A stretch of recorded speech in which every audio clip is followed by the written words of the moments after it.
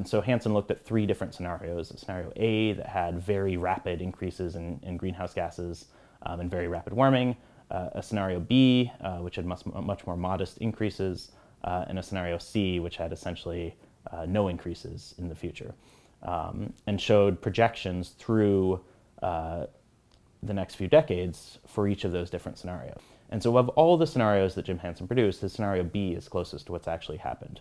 Um, greenhouse gases have been on the high end, but emissions of chlorofluorocarbons have been much lower than Hansen projected in 1988, in large part due to the success of the Montreal Protocol, which was an international agreement to eliminate a lot of these chlorine uh, containing uh, compounds that were depleting the ozone layer.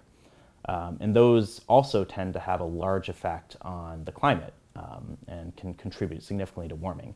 So on balance, his scenario B was the one that was closest to the actual uh, radiative forcing um, that we've experienced today.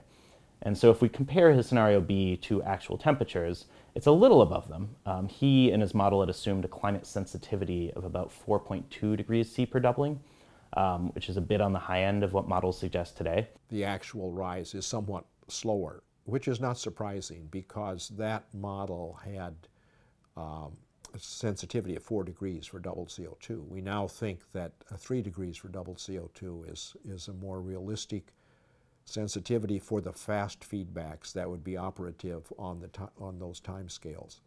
So uh, it actually is, in that sense, is quite uh, good agreement with uh, what's observed.